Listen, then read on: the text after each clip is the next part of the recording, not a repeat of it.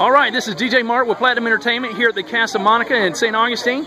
Brock and Madison just got married. Guys, did you have a good time and did we meet all your expectations?